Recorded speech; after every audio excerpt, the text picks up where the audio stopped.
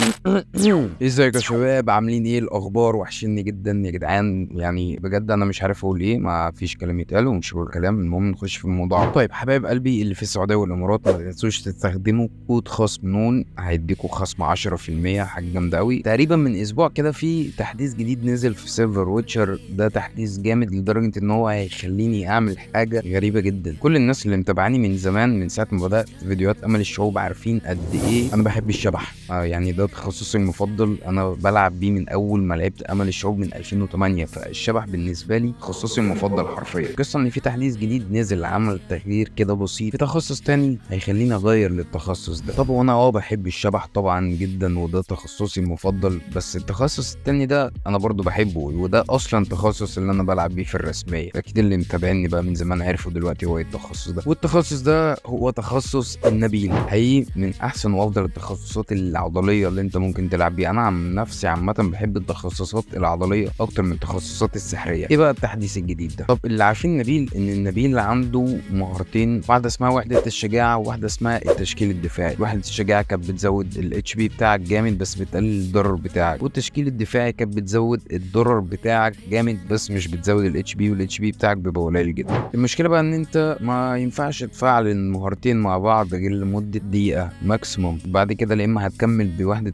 أو بالتشكيل الدفاعي. طيب التعديل بقى اللي حصل إن أنت دلوقتي هتقدر تستخدم المهارتين. زي ما أنا في الشبح كده بستخدم الشفافية المطلقة ونصل اللهيب يعني برضو أنا في الرسمية ما أقدرش أستخدم الاثنين مع بعض. فدلوقتي التشكيل الدفاعي وحدة الشجاعة في النبيل هتقدر تستخدم الاثنين مع بعض. فبس كده خلينا بقى كفاية كلام. فالفيديو يبقى ماشي إن إحنا دلوقتي هنخش هنغير الاختصاص بتاعنا ده أول حاجة تاني حاجة هديكوا كده شرح بسيط سريع للنبيل علشان لو حد حابب يجرب سيبوا قيموا بقى ال background الجديدة دي من واحد لعشرة في ال comment ات وقولوا لي إيه رأيكم.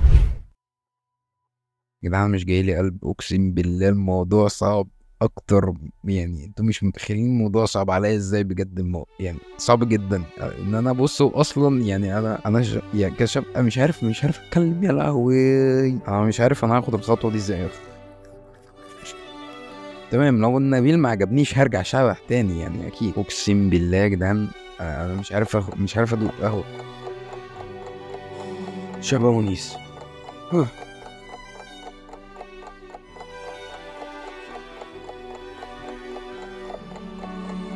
ماشي. النبيل الضرر بتاع اللي كان واصل نص مليون بقى 180 ألف.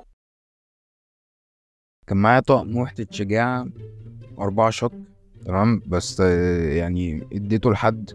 يعني يا ريت ترجعهولي تاني دلوقتي لأن أنا بصراحة محتاجه تمام؟ فيا ريت لو أنت بتتفرج على الفيديو رجع لي الدرع تاني عشان أنا فعلا عايزه. يعني بما إن إحنا دلوقتي قلبنا نبيل خلينا نروح ناخد التخصص الرابع دي أول حاجة هنعملها. هنروح ناخد يا نهار أسود في إيه؟ يا حبيبي أنا لابس أكبر شنطة في البتاع. آه موضوع صعب. مهارات إيه؟ طب ما المهارات مفتوحة استنى ننزل ده كده هي- هيدينا شوية قوة ممكن. آه والبوفات البوفات ها فرقت. فرقت.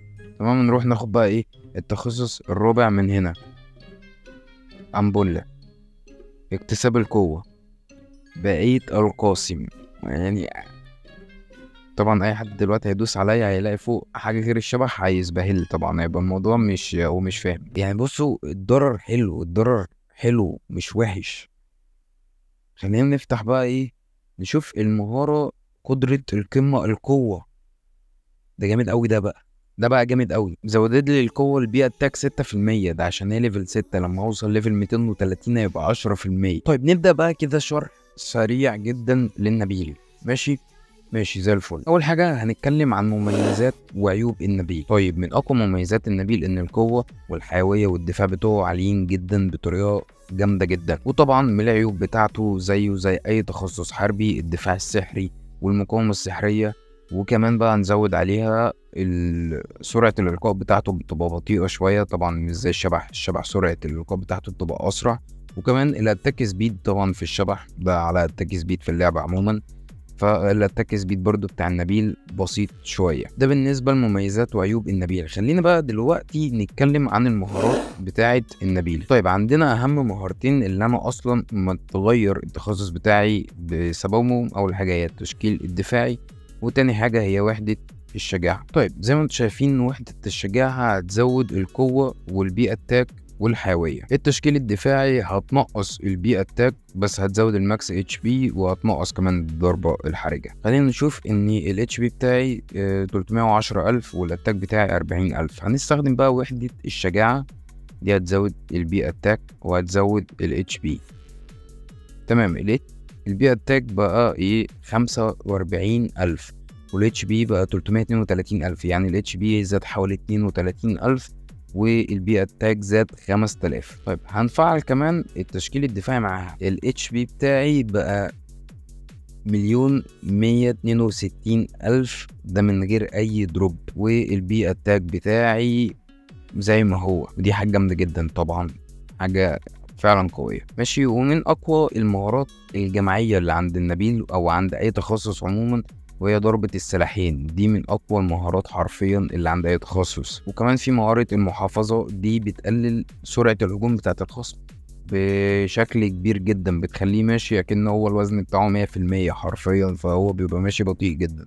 دي من أقوى المهارات اللي عند النبيل طبعا عنده برضو تيار الطبيعة وهنا في تيار الطبيعة تدريب. طيب خلينا بقى نخش نتكلم على الجيب بتاع النبيل جيب النبيل في ال basic أو حتى لو أنت بتلعب في الرسمية هتحتاج 3 ميناتور. ده لو أنت غني بس عامة لازم ده أقوى جيب حرفيا للنبيل فالجيب هنحتاج 3 ميناتور و2 بوليفور وهنحتاج اراميس وشجاعة هيكتور.